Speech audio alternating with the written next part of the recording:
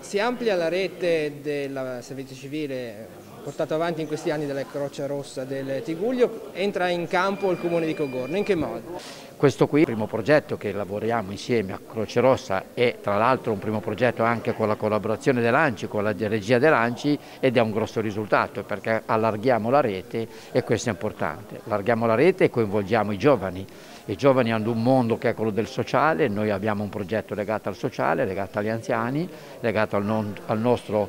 ufficio dei servizi sociali ed è un passaggio molto importante che è legato alla Croce Rossa, pertanto anche a tutto quello che è il soccorso, quanto è la, la, valorizzazione proprio dell'aspetto del primo soccorso, c'è questo aspetto del sociale. Quattro posti disponibili, cosa faranno questi ragazzi? Allora, i ragazzi del progetto legato alla, al sociale sono quattro ragazzi, lavoreranno in sinergia con i nostri servizi sociali, pertanto per quanto riguarda l'area anziani e noi abbiamo tante belle idee, ci sono tanti lavori da fare, tante eh, opportunità proprio di, di, di accoglienza e di avvicinamento, è un passaggio importante per i giovani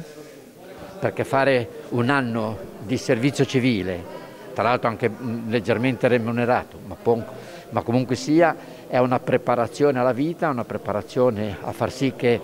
oltre che al lavoro, oltre che avere degli impegni lavorativi nella, nella vita che tutti ce l'auguriamo, c'è anche l'aspetto sociale, l'aspetto del volontariato e questa è una, forgia, una forgiatura che viene impressa ai giovani e pertanto grazie a quei giovani che accetteranno e fate diciamo anche passaparola perché è importante che partecipano tanti, il corso per, è di quattro ma legati a quello della Croce Rossa sono parecchi ragazzi e di conseguenza aspettiamo a, a braccia aperte tutti voi.